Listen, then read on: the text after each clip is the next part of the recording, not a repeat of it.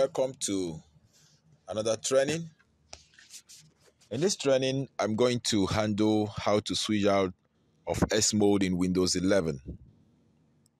Windows 11 in S mode is a version of Windows 11 that is streamlined for security and performance. Users of this version still gets get same Windows experience. Only apps from Microsoft Store allowed when you're using Windows 11 in S mode.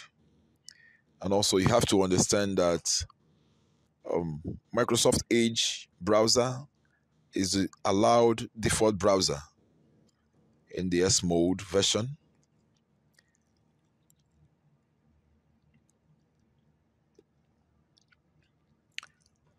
There are other things you cannot do when you're using Windows 11 S mode version. One of them is you cannot domain join to your network. When you try doing things that are not allowed in Windows 11 S mode, it gives you a message for security and performance. This mode of Windows only allows runs Microsoft Verify apps. I don't know if you have experienced this message before when you try installing app. When you get this message, um, you cannot install that app. For you to install the app, you need to switch out of S mode. To switch out of S mode in Windows 11 or Windows 10, do the following. Okay, the first thing you do is to go to your system. Then on your system, okay, you go to the system. Then you click the Windows icon on Windows 11, Home S. You type settings. Okay, click on settings. And then under settings, you scroll down for activation. You scroll down and look for activation.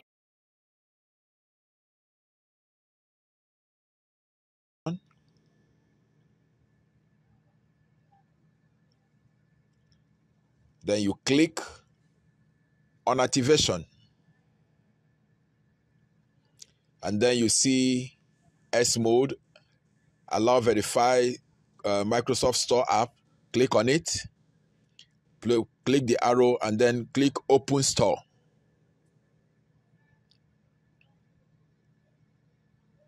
Then when you click op open store you see switch out of s mode. Okay? When you see it and then know that anything you do here is not reversible. Okay? So we are to switch out of s mode and we click get click on get.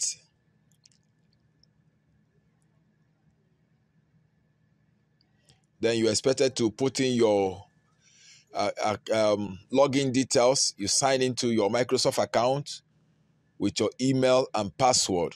I'll just do that. Okay i've done that. And then say use this account everywhere. You click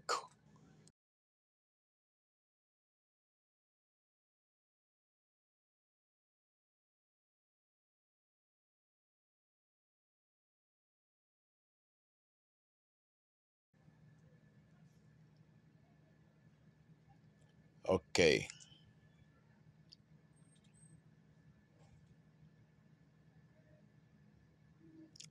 Then you fill in the details. You ask you to add details. You fill in the details and click.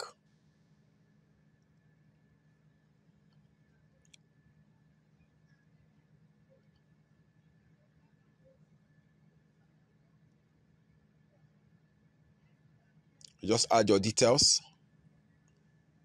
Okay. You add your details and then please confirm your age because you added your age. You just click next to confirm your age.